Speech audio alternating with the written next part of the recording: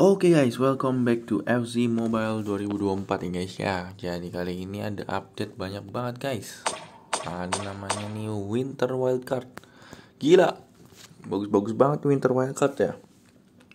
Tapi kali ini kita nggak akan bahas itu. Nanti akan gue bahas lagi update terbarunya. Sekarang yang mau gue lihat adalah pemain-pemain dengan hidden gem guys. Ini udah gue watchlist, watchlist, watchlist ya. Nah, kurang lebih gue akan kasih tahu ada 5 pemain hidden gem. Lihat, harganya cuma 1 juta, 1 juta, 1,5, 300 uh, ribu sama 100 ribu. Tapi kemarin ada update terbaru, kapten ya. Program kapten jadi WordPress-nya update guys. Dari WordPress dulu ya, kenapa gue bilang pemain ini adalah pemain-pemain hidden gem ya. Pertama dari WordPress yang dulu tadinya 100 ribu ya. Coba lihat dulu yang yang dulu nih ya yang dulu dulu. 738676 jadi 748877 wah boleh boleh boleh. Naiknya lumayan signifikan ya. Uh, average ratingnya naik 3 596465 596465 naiknya cuma satu-satu aja padahal ya. Tapi average ratingnya naik 5 Oke, kenapa gue bilang James Ward Price adalah pemain hidden gem ya? Ini market value-nya dulu 652, kalau dimaksimalin full jadi 8 jutaan aja guys, murah banget. Posisinya CM, kalau di fullin average ratingnya jadi 91. Dan kenapa dia bisa jadi pemain hidden gem adalah karena ini dia di sini lihat guys. Hup, kemampuan free kick, curve dan crossing di sini dia adalah pemain terbaik sebagai free kick taker dan juga corner taker. Nah, ini dia James Ward-Prowse. Salah satu free kick taker dan corner taker terbaik. Tendangan bebas dan tendangan sudut terbaik, guys. Kenapa gue bilang si James Ward-Prowse ini adalah pemain hidden gem. Lihat statusnya melebihi rata-rata, guys. Di atas rata-rata lah pokoknya. 95, 94, crossingnya 91, pokoknya urusan passing crossing umpan-umpan semua ini serahin nama Jam World Prize ini semua ahlinya guys. Permain hidden gem yang pertama ya. Kedua gue masukin Al Amri. Kenapa Al Amri? Sebagai seorang apa dia? Center back ya? Center back Al Amri. Harganya di 300 ribu kalau full B-nya jadi 5 jutaan aja murah banget. Center back yang murah banget. Pertama dia punya ini depth into tackle long passer juga power header urusan sundulan dia bisa oke. Okay. urusan umpan terobosan counter attack karena dia CB jadi counter attack ya. Main counter attack juga oke. Okay. defense juga dia oke okay karena punya depth into tackle lanjut ke bagian yang lainnya stamina nya juga oke okay. sebagai seorang defender dia punya empat setengah stamina itu udah oke okay banget guys. Nah sekarang ke bagian sini guys status lengkapnya. Yang tadi gue bilang jumpingnya lihat. 98 jumping guys. Guys untuk defense-nya nggak terlalu bagus sih tapi dia punya depth into tackle. Tapi urusan jumping dan fisiknya nih ya fisiknya 85 oh, cukup oke okay. agresifnya juga 88 cukup oke okay, tapi jumpingnya masalah sundulan offense atau defense harusnya dia oke okay sih sundulannya. Ditambah dia punya power header the hidden gem yang kedua. Pemain hidden gem kedua. Pemain hidden gem selanjutnya. HP gue agak panas nih recordnya harus cepet nih ya. Center back juga sama seperti sebelumnya quarterback dengan market value 1,5 kalau di fullinnya 21 juta. Ini agak mahal tapi ini bagus banget. Gue pun make ini quarterback gue pakai dia center back yang bagus banget. Dia punya tinggi badan yang oke okay, 191 dia punya sama seperti tadi kalau defender depth into tackle long passer power hitter itu udah cukup untuk seorang defender.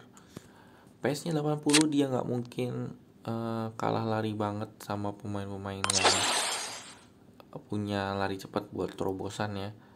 Untuk defense-nya lihat di sini. Defense-nya guys, jumping 96, heading 88 strength 987 agresif 85 marking 87 standing tackle 90 sliding tackle 84 awareness 86 untuk seorang defensif dia defense-nya kuat banget dibandingin yang lain salah satu pemain hidden gem yang selanjutnya.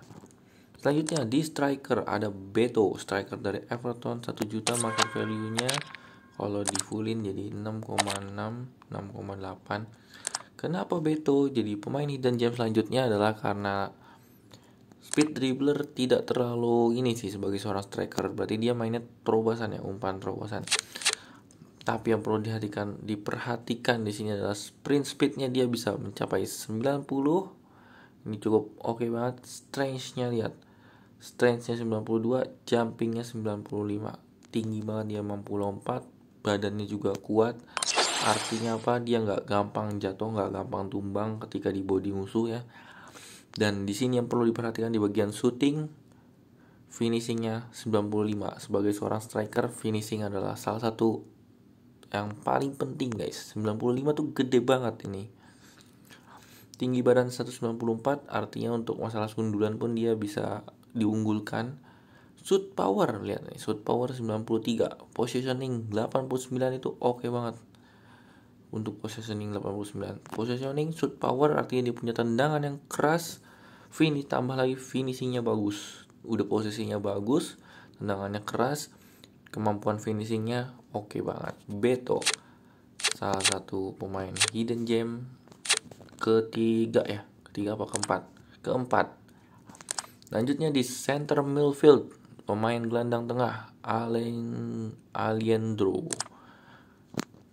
ya kenapa ini jadi hidden game sebagai central midfield ya gelandang tengah. Dia punya flare flare itu kemampuan kreativitas yang tinggi lah bisa dibilang gitu long long shoot ya? Uh long shoot sebagai central mid dia bisa kemampuan tendangan yang jarak jauh bagus dan dive into tackle. Di di defense pun dia nggak kalah bagus. Stamina uh, kemampuan menyerang dan bertahannya high high udah cukup oke. Okay terus stamina nya juga oke empat setengah. Tapi kita lihat di bagian-bagian statusnya ini uh, untuk yang ini statusnya emang oh berarti gue nggak ngeliat dari sini ya. Tapi gue ngeliat bahwa dia kemampuan menyerang dan bertahannya cukup oke okay, guys. Cukup oke okay. kemampuan dan bertahannya. Uh, kenapa gue ini pemain hidden gem yang terakhir? Karena dia stabil guys. Kemampuan menyerang dan bertahannya itu standar. Jadi dia bisa menyerang dengan cukup oke okay dan bertahan dengan cukup oke. Okay. ditambah dia punya flare dia punya kemampuan kreativitas yang top marco top. Dive into tackle kalau untuk serangannya ada long shoot passer. Eh long shoot taker. Sebenarnya salah satu lagi adalah Enzo tapi Enzo itu mahal guys. Jadi Alejandro bisa jadi pilihan opsi lainnya karena dia masih murah. Market value 1 juta ketika di fullin cuman eh harga fullnya cuma 13,5 juta saja. 13 juta udah dapat malah tuh Oke, itulah pemain-pemain hidden gem ya. 5 pemain hidden gem kita. Kalau dipakai, kalau menurut teman-teman sih yang sudah ini gem WordPress ini udah ada yang pakai, gue pun pakai Squalterback, Beto pun banyak yang pakai. Kalau Al Amri sama Aliandro, gue jarang lihat ada teman-teman teman-teman make sih cuman kalau soal terbaik Beto sama WordPress ini sering banget guys bukan berarti jelek tapi ini bisa jadi pilihan nih Al Amri sama Aliandro kalau duit kalian pas-pasan duit kalian belum cukup untuk beli pemain yang hebat-hebat yang ini bisa jadi pilihan. Oke gitu aja dulu guys. Sampai jumpa di video berikutnya. Bye bye